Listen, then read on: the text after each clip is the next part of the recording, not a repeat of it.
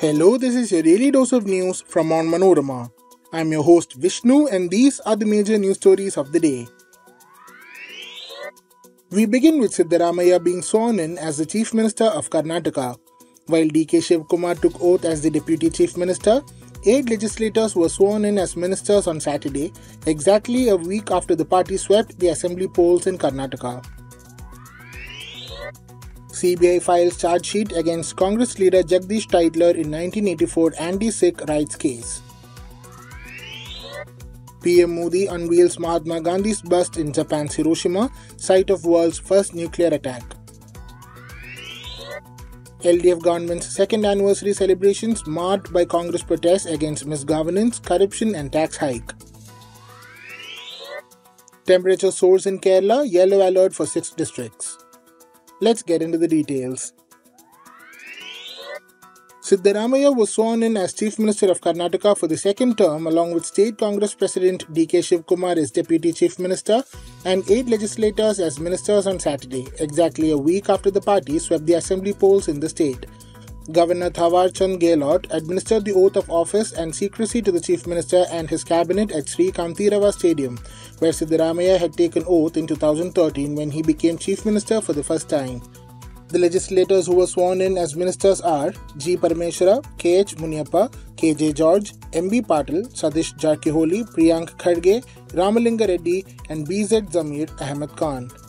Siddaramaiah said his government's first order of business would be the implementation of the five guarantees that were made by the party in their manifesto, including 200 units of free power to all households under Grihajyoti scheme, rupees 2000 monthly assistance to the woman head of every family under Griha Lakshmi scheme, 10 kg of rice free for every member of a BPL household under the Annabhagya scheme, rupees 3000 per month for unemployed graduate youths and rupees 1500 for unemployed diploma holders for 2 years under Yuvanidhi and free travel for women in public transport buses under Shakti scheme. He also said his government will give an administration as expected by the people of Karnataka. Mallikarjun Kharge, former Congress President Rahul Gandhi, General Secretary Priyanka Gandhi Vadra attended the swearing-in ceremony, while former AICC President Sonia Gandhi was absent. Chief Ministers of Congress ruled states and several other party leaders were also in attendance. Congress Chief Kharge had invited leaders of several like minded parties for the swearing in ceremony. The event seemed to be a show of strength for opposition parties amid unity efforts to take on the ruling BJP in the 2024 Lok Sabha elections. A meeting of the Congress Legislature Party on Thursday had formally elected Siddaramaiah as its leader and chief minister, following which he staked his claim with the governor who invited him to form the government. The 75 year old Siddaramaiah will become the Chief Minister for the second term after his earlier five year stint from 2013, while 61 year old Shivakumar, who had earlier worked as Minister under Siddaramaiah, will also continue as the party's Karnataka State President till parliamentary elections next year. The CBI on Saturday filed a charge sheet against Congress leader Jagdish Tytler in the Pul Bangash case of killing of three persons and torching of a Gurdwara during the 1984 anti-Sikh riots, officials said. Tytler incited, instigated, and provoked the mob assembled at Pul Bangash, Gurudwara Azad Market on November 1, 1984, that resulted in burning down of the Gurudwara and killing of three Sikhs. Thakur Singh, Badal Singh, and Gurucharan Singh, the CBI alleged in its charge sheet filed before the special court here. The agency has invoked charges including rioting, unlawful assembly, provocation, abetment, murder, and defiling of religious places, among others. The court will take cognizance of the charges on June 2nd, they said. Former Union Minister Tytler was accused of inciting a mob that murdered the victims. However, the CBI filed three closure reports which were rejected by the special court.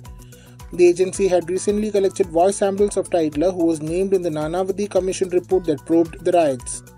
The case pertains to the riots at Gurdwara Pulbangash in North Delhi, where three people were killed on November 1, 1984, a day after the assassination of then Prime Minister Indira Gandhi by her Sikh bodyguards at her official residence.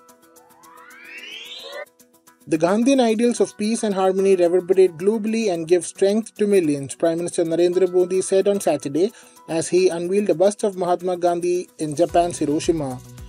The location of the bust of Gandhi has been chosen as a mark of solidarity for peace and non-violence. The US conducted the world's first nuclear attack on Hiroshima on August 6, 1945, destroying the city and killing some 1,40,000 people. Modi also spoke to reporters after unveiling the bust and said that even today the world gets frightened when it hears the word Hiroshima. Japan's Prime Minister Fumio Kishida, representing a Hiroshima constituency in the House of Representatives, invited Modi to the G7 summit as a guest.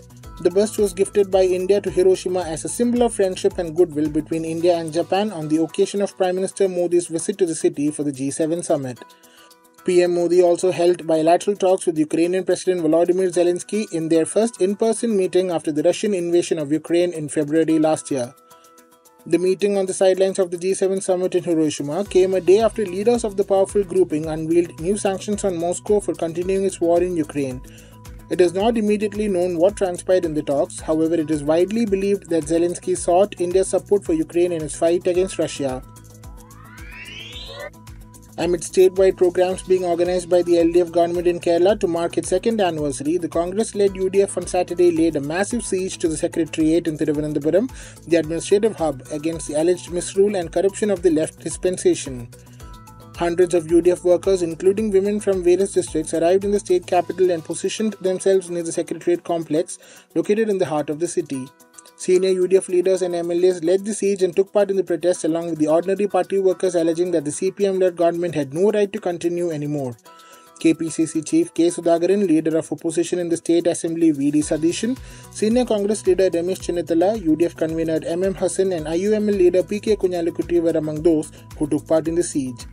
The left government had no right to celebrate the anniversary as it has only provided misery to the people of Kerala, they alleged.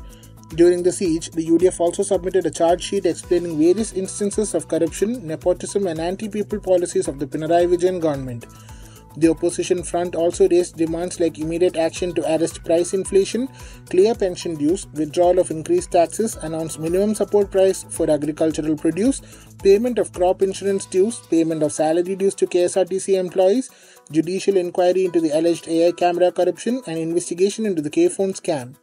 Meanwhile, tension prevailed in the Secretariat premises for some time due to a minor scuffle between the police and protesters over the entry of government employees to the administrative hub through the protest venue. Besides the Congress, the BJP workers also staged protests in front of the Secretariat alleging misgovernance and corruption under the left government.